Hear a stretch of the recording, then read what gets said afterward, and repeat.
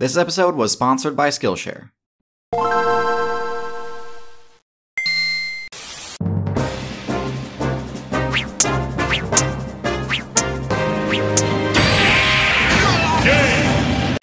Humans have the ability to party up with players from other factions. This isn't a unique ability, plenty of builds can execute powerful team combos that benefit both players, but humans have by far the most options when it comes to choosing which support class they want to enlist in their party. I've already made a video discussing the two most popular choices, cats and dogs, but I think it's worth giving the more niche support classes a video of their own. I'm gonna split them into three categories, mounts, battle summons, and companions. Mounts are characters that players can combine with to form a more powerful battle unit. The most popular example of this is the horse, and for good reason.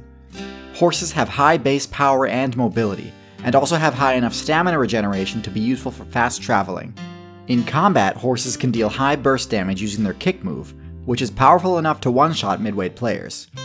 Now, one thing about mounts is that in order for them to work, they have to have spec into the social abilities, but they also need an intelligence level that's a good deal lower than the human player in order for them to gain full control.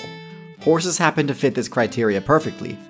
Humans have tried allying themselves with other similar builds, with a lot less success. Anyway, it's important to know that horses aren't the perfect mount. Their most obvious flaw is their extremely low HP. Most animals can recover from slight injuries, but horses will actually get a game over if one of their legs gets broken. So if low mount HP isn't your thing, I would actually recommend the elephant instead.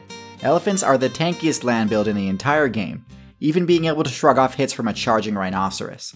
Of course, opting for the elephant is a huge sacrifice in terms of mobility.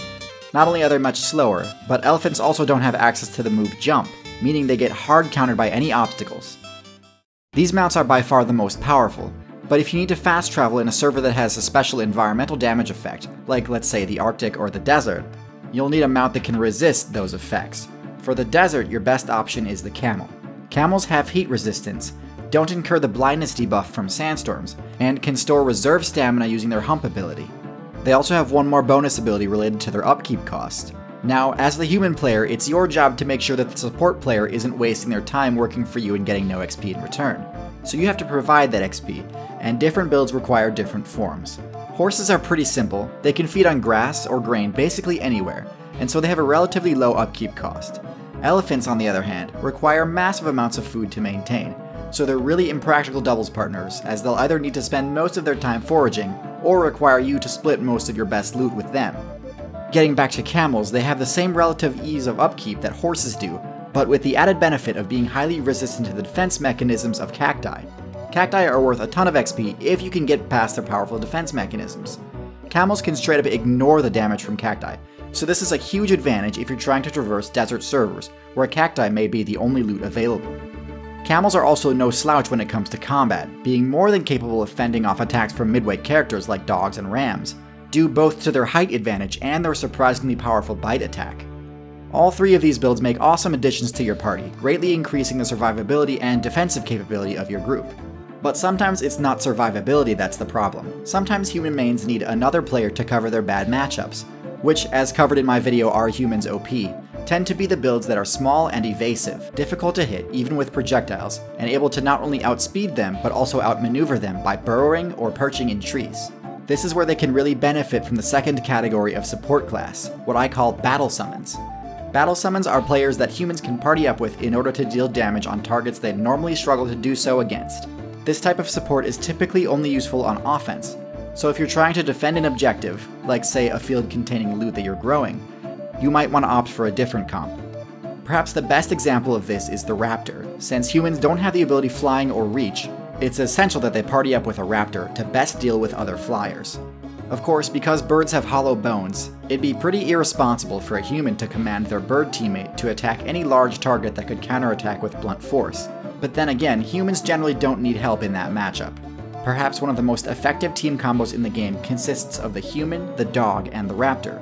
The dog can use their high-level smell abilities to find players that are using stealth, and then when they try to flee, the raptor can use their high damage and high accuracy pounce strike to score the finishing blow. One thing birds can't do though is reach players that are hiding underground, and this is where the ferret battle summon comes in. The ferret matchup against burrowing builds like rabbits, rodents, and snakes is hugely favored, and humans can use this to their advantage since they, like birds, don't have any immediate counterplay options when their opponents burrow where they can't reach. This tech was first pioneered by human mains on the Egyptian server during the Bronze Age. Okay, so the last type of support is what I'll call the companion type. And this is where the definition of support begins to kind of fall apart because humans can party up with basically anyone else and at least get a slight morale boost. There are plenty of builds that make great companions, but there are a few that I'd recommend avoiding. I'm going to break these down into two categories. The first is builds which humans can't effectively support, and the second is builds which curse their party members with a charisma debuff. For the first group, I want to highlight two builds. The first is the Octopus. Many players assume that due to their high intelligence stat, Octopi would make great party members, but the main thing to remember is that in a companionship, the human player is also the moral support role for their non-human counterpart. The higher the intelligence level of your support player, the more attention they require. And as discussed in other videos, cephalopods are among the top intelligence builds in the game. The issue here is that because octopi and humans can't really cross over into each other's natural servers, there aren't many good options for either of them to support the other.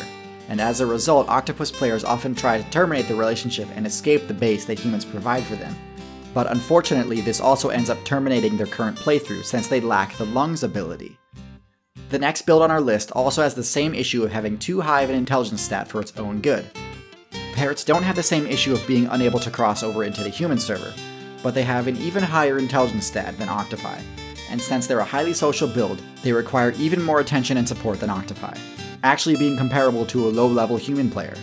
While they do have a pretty high morale boost potential, nearly on the same level as cats, they require so much attention that humans can't effectively function as their teammates unless their skill tree has allowed them to work from home.